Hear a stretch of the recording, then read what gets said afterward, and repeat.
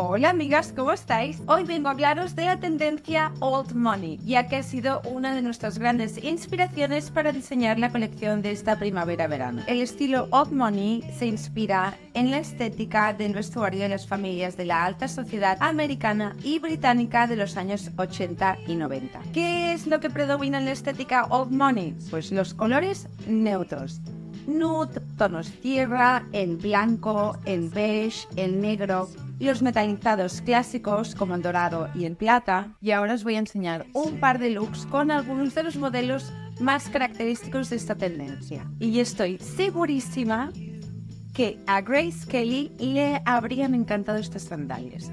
Mirad qué sofisticadas, elegantes y maravillosas son.